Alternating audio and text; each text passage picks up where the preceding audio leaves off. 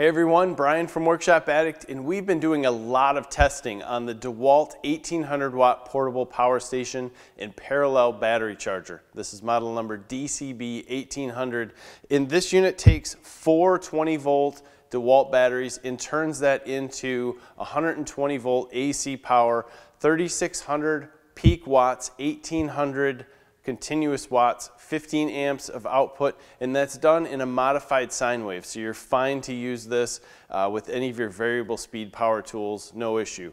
Now, uh, this unit is available as a bare tool or also in a kit. And one of the more popular kits that we're seeing right now is one flex volt battery and three four amp hour batteries. And that kit kind of brings something to light that this unit is only as strong as its weakest link. So that one flex volt battery in here is not going to give you any more power than if you had four 4 amp hour batteries. So the smallest battery or the least charged battery that you have in this kit will determine how long everything runs. So that kit that we mentioned is a great way to pick up one flex volt battery, but it's not going to increase the runtime on this unit here. So let's go into exactly how it works. To use this device as a power supply, you push the power button and there will be a long beep.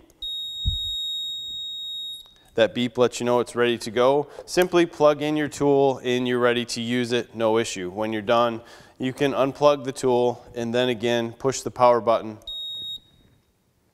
and it'll turn itself off. It's ready for transport or whatever you want to do with it. To use this as a charger, just plug in your extension cord here and you'll get flashing lights that'll tell you the batteries are charging or if there's an overheat delay and it'll let the batteries cool down before it starts charging. Charge time on this is approximately two hours for all four 4 amp hour batteries and if you had four flex volt batteries in there that are currently the 6 amp hour ones, it's going to take you just about three hours. That's charging everything at uh, two amps. So it does take a little bit of time, even though it is charging each battery at the same time. Also note that when this unit is plugged in and charging the batteries, it is not able to be used as a power source. So you either have to use this as a power source or use it as a battery charger separately. So our goal in this video was to answer those questions that you had in this. A lot of people came out on social media and says, what will this do? So we started out with a lot of your questions trying to answer them.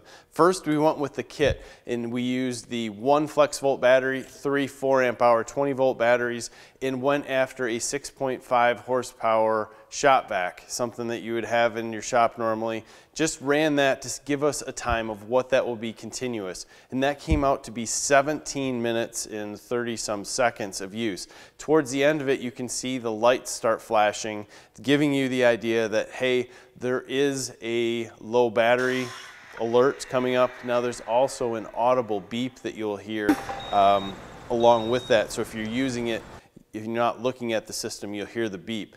Uh, from there, we kind of dumped the 4 amp hour batteries and went all the flex volt. And the reason we did that is because most people out there wanted to see what will this do in its max capacity. And currently the 6 amp hour flex volts are it. Um, so we went right to a sump pump test. Thought that was interesting. How long will it last on a sump pump? So we went, uh, connected up a line, started feeding our sump pump uh, some serious water through a garden hose, and let this thing run and run and run and run. And uh, there's no doubt that depending on the amount of water that's going to come in though, uh, but there's no doubt that you could run this all night on your sump pump even in a rainstorm.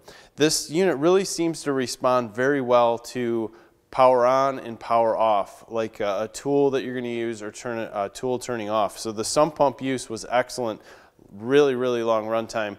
Uh, we got almost five hours of continually putting uh, water in our sump pump from a full garden hose and it running. So that was absolutely amazing. Charging up the flex volt batteries took three hours. We were right back at it. We used a Hobart Handler 140. That's a 110 watt uh, MIG welder, flux core. The job we're doing is way too big for this small welder, but we figured we'd get everything tacked in place. Um, on level four, which is its highest setting, we tripped this unit. So that's a 20 amp welder, so we kind of expected it. We were able to weld uh, consistently on level three without it tripping at all. and we were able to weld a lot. Uh, we were welding so much that we ran out of stuff to weld and we actually bumped over without charging the unit and started cutting with a seven and a quarter inch worm drive saw. We ended up getting 66 more cuts on a 2x12 before we got our first low battery warning. We weren't even continually run out of battery here. That was our first low battery warning. So the amount of actual power this produces on a job site is amazing. So to answer some more questions, we went over and hooked this up to our shop refrigerator. Somebody said, hey, this might be my inverter or my generator per se in the house. Uh, they're going to use this as a backup battery source. Um, man, on the refrigerator, just absolutely amazed. We get 14 hours of runtime. Now, this is all going to depend on what's in your refrigerator, how much it needs to be cooled, was it you know starting from already being cold. Lots of variables here, but that gives you an idea of what four flex volt batteries will do in this power source. Uh, really, really love the innovation that DeWalt put into this unit. In fact, this is one of my favorite innovative tools of 2016. It was a blast to test. It surprised me every time I turned around. And the one weird thing about this unit is it's quiet. It's completely quiet when it's in use. It's completely quiet when it's charging.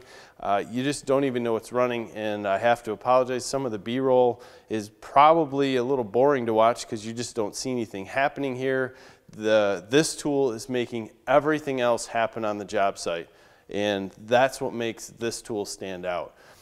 Stop by Workshop Addict. We have a blog and a forum. We'll have more on this over there.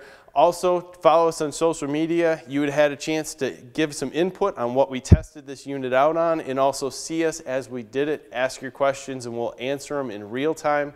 Thanks for your time, guys. Have a great day.